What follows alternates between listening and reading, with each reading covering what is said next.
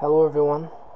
I thought I would make uh, a new video on the progress of the Homebrew uh, CPU operating system. Um, so what I wanted to do on uh, this video is to show uh, the state of the computer right now and the state of the operating system and also give uh, an overview of everything uh, including the process how you go and a telnet into the into the system here. So right now as you can see here I have PuTTY uh, open. Uh, and so I'm going to show you how you can access the uh, the system from your computer so so here we have the address uh, for this is sol-1.org and the port number is 51515 so if you go on PuTTY and you type this and then you choose uh, the telnet session. It has to be a telnet session. Uh, this is the address. There are a few configurations which you can do uh, to make it uh, better. Otherwise uh, it will act a little bit weird. So if you go on terminal settings what you have to do is force uh, local echo off. So you click here. And you force local line editing to off as well so we don't want echo because the system already echoes everything back to you. And we don't want uh, local line editing. Uh, we want it to be character mode. So we get uh, immediate feedback when you press a character. Uh, another option that you want to mark is this one implicit uh, carriage return in every line feed. Uh, because I am uh, every time we uh, enter a new line I am only sending a line feed character. I'm not sending the carriage return. So you have to interpret the line feed and add a carriage return uh, for this on uh, so that's uh, I think that's it uh, for configurations. Okay so after that we can click open and you get the terminal here so you will get a blank terminal because my telnet uh, session is being hosted from the ESP8266 board. Um, so the ESP is a wireless uh, wireless system. It's connected to my uh, one of my as a peripheral to my homebrew CPU uh, so when you connect you connect to the to it to the ESP8266 and it sends and receives uh, serial data to and from the CPU right? So when you log into the ESP uh, it's just the way I programmed it. It's not send, sending anything back to you like a welcome message. I probably should do that but for now it doesn't do anything. So if you log in there you see a blank page. So what you do is just press press return press enter and you get the prompt so as you can see the prompt here is just a forward slash and then you get the I don't know I forgot the hash hash symbol. So that's that means you, we are in root. Uh, there's only one user on the system right now and it's root. So we can do an ls. So uh, what it is is I'm working on, on the operating system from scratch. So I'm writing a Unix like operating system from scratch here. So everything is written by myself in assembly and assembled with uh, with an assembler. So it's all done from scratch. I have not used code from anywhere else. So for this reason not all the Unix commands are available. Actually most of them are not available just the ones that I have implemented. So if you come here and you start using the system you'll notice uh, that sometimes when you type a command uh, it can just restart the system because it didn't understand the command and something went wrong and also some of the commands will not be accepting parameters. For example ls right now it doesn't take any parameters. Uh, you, you, can only type ls and it will show you everything. Uh, and the way it shows it is a, is a list like this so you can see. So the first column here are the uh, file attributes. So D for directory and then we have read write and a dash because it's not an executable so it's a directory uh, and then here we have the file size which in this case is uh, my directories are do not have a size right now. Uh, the next one is just the just a numeric uh, index for the directory uh, in disk. And then we have the date and then we have the folder uh, name or, or the file name. Okay so I'll give you um, an overview of everything in the system here what we can do and the commands available. So the first one is of course ls uh, we can also you can also do an ls and you can type a directory for ls so if you want to see what's in uh, usr for example you type ls usr uh, and you can see what's in that directory you see? You can also give an absolute address. So we can do an ls slash user slash bin for example. That will also uh, do it so this shows all everything that I have in that directory which in this case are all the Unix commands that I have right now. So each command is itself a program. And every time you type that command the program is loaded from disk. For example ls. You type ls here uh, the CPU loads ls from disk and executes it. Uh, of course it's much slower but uh, that's how it is right now so okay so that's ls we can also do the cd so change dir into usr for example. Then we can do ls we see everything that is in there. Uh, so we can also do so this command also accepts uh, it accepts any any type of path. So you can do an absolute path as well. So we can do cd usr slash bin for example and we are in that directory like that. So as you can see inside this directory we do not have the uh, the dot dot directory or the single dot one. Uh, this is just a small uh, thing right now. Usually there will be those those ones. If you create a new directory for example if we cd into root we can create a new directory here called test for example. And we can cd into test and in that case you, you will find those two directories there. Uh, so we can do cd dot dot to go back upwards. Uh, because those the ones that do not have it is just an inconvenience uh, because I was using a previous uh, kernel version uh, to uh, reboot the system bring everything up. So now I need to change some things. Anyway so there we are. We can also let's see remove directory. So I just created that directory. I can do a remove directory test to remove that directory. You can see it's no longer there. So let's just navigate around. So let's do a cd into etsy.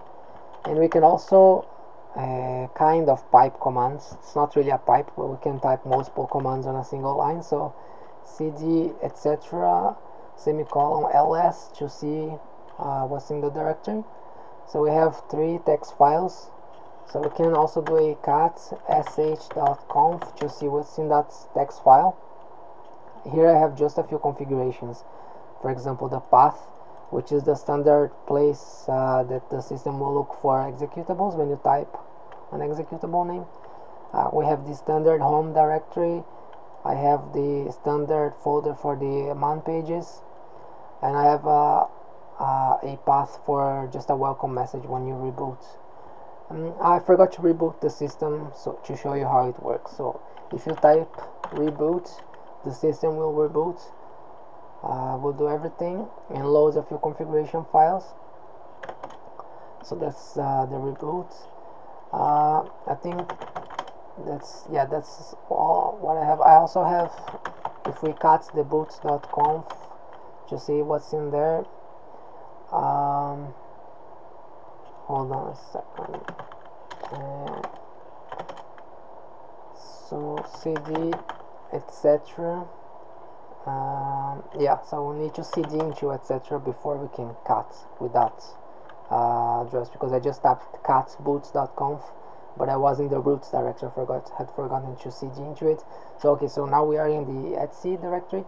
Uh, we can cat uh, boots.conf to see what's in there.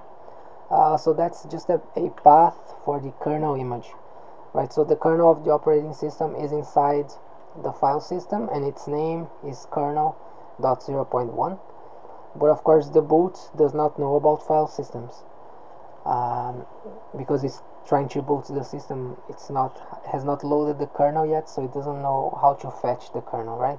So the way I do this is I have this configuration file called boot.conf and it has the address of the kernel right?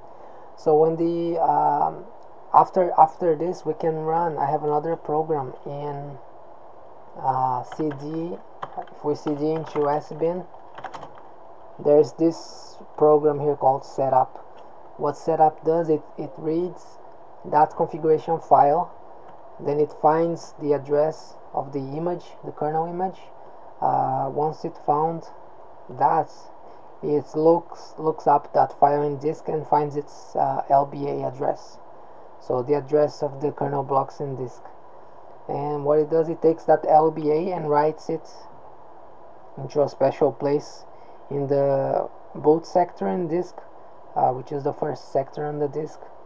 It writes the LBA of the kernel there so that when we are trying to boot the system we can just read that LBA and we know where to find the kernel in the disk so we just load load the kernel from that address. So that's what that is. Uh, if we cd into boot for example that's where the kernel is right now so that's where the kernel file is. Um, let's see what else we have. The var folder does not have anything right now. So okay let's cd into usr right now. So in usr we have bin which are all the commands uh, let's see what we have in src uh, okay so let's do as uh, cd uh, src slash asm I have just one example assembly program here. So we can do a cat sieve.s which is just a sample program assembly program. So this is assembly language in the language that uh, my CPU understands which is my assembly language. Um, I don't have a uh, an assembler on here on this system. I do the assembly on on a, on a, a proper Unix uh, system. So now let's see. Okay so you see if I type a command that uh, does not exist the CPU will reboot. That's just a little bug that I have to fix. Um, so let's go back to USR okay so next. Let's do a cd into home slash guest which is the guest user. Let's do cd into ASCII. I just want to show you some pretty images. So I have a few ASCII images here. So cat Einstein for example will show just an ASCII image uh, like that. So you can do cat door. Of course the uh, cat command. Uh, you can also type multiple uh, files like that so it will cut them together because it concatenates files. So like that. So okay so let's go back here and see. There's also the guestbook messages. Uh, so so let's cat guest.text so you can see the messages that everybody has left here.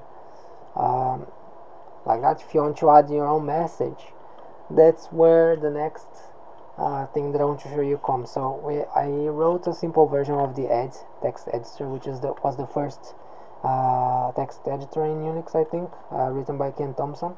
So if we do just do an Ed uh, like this, Ed, we are inside Ed now. So if you type a command that it doesn't understand, it just sends you the question mark.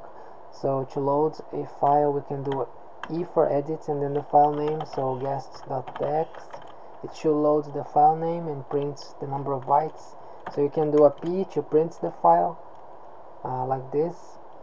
Uh, we can also append one line to the file. So if you type A enter. Now we are in append mode. Everything you type will be appended. So you can type a message like hello world. When you're done typing the message you just type a single dot by itself on a line and you press enter like that. So that's appended one line. So we can print the file again and you see that there's a new line there. Uh, you can write to the file by doing W and then file name like this and then enter. Uh, but this will create a new file. It will not overwrite the old file. And finally you can press Q uh, to quit ed like that. So that's the ed text editor. It's the simplest editor that uh, you can possibly have probably. And I wrote a very simple version of it. I still need to finish it. Um, okay so what else do we have? So let's do user again. Let's do local cd local. Uh, let's do cd bin. Okay so the sieve is a program a benchmark program that just finds prime numbers uh, in a certain time frame and tells you how many primes it found. So it's just a benchmark program. Uh, I when I was uh, because I usually go uh, I usually visit the Magic One project uh, frequently by Bill Buzbee. Uh, and um, I found this program a few days ago which is a, benchmark and I wanted to write uh, my own version of it. So I wrote it. We can run the benchmark like this so right now it is calculating primes uh, by the, by the sieve of Eratosthenes and it tells you later how many primes it found. So 1899 primes uh, and you use that in the time taken to benchmark your CPU uh, so let's see I have also a, another program which is just a prime number finder. So you can give an upper bound for example let's say 200 and it finds all the primes up to 200 like that. Um, so I also have an automaton uh, simple program like that. I think it's rule 30 but I'm not sure I forgot. Uh, uh, it's like the role from uh, cellular automata uh, 1D automaton. And I also have CD games just a text adventure that I was writing. It may not work because I think uh, the kernel updates okay it works. So you can navigate around north south etc and X uh, tells you what's what items you find. So this I just I started writing this and didn't finish so it's not finished. Uh, we do Q to quit uh, let's see okay. What else do we have here?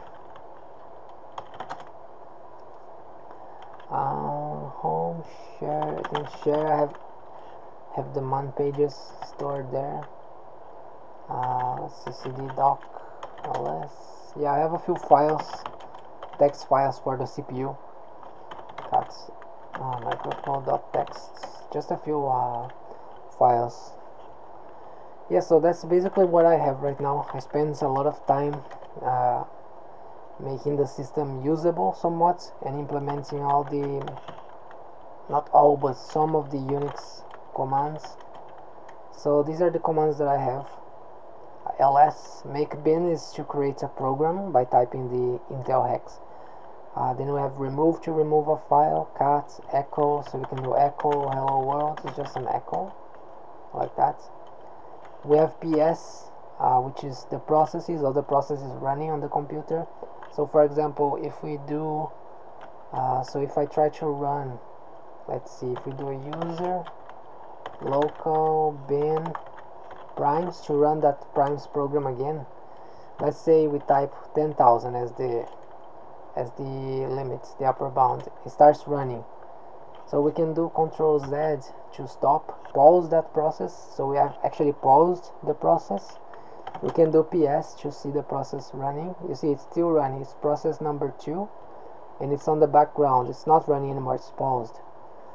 If we want to bring the process back into life we can do a command fg and process number that brings it back. Uh, because of course the CPU like I said before is uh, it can run multiple uh, processes at the same time so we can do control Z again. And it's still there. So let's do foreground again and control C. This time completely cancels the process and stops it. So if we do PS again it's no longer there you see. So that's how it works. That works. So we have also the ads like I showed you. We have uname which is just printing the name of the operating system. Uh, we have make dir we have pwd uh, we have mv to rename a file right now. We have date like that and we have clear to clear the screen like that. So I think that's basically what I have to show you right now. Um, yeah I think that's it. Uh, it's been a lot of work bringing the system to this point and there's still a lot of work to do so I'll be doing it slowly anyways. Uh, so if you want to visit uh, the, the project you can just do a telnet. You can go on on your prompts and type telnet sol1.org 5151.5 or you can just use uh, put putty and you come here like that. So yeah that's it. Uh, I think I'll stop here and uh, thank you for watching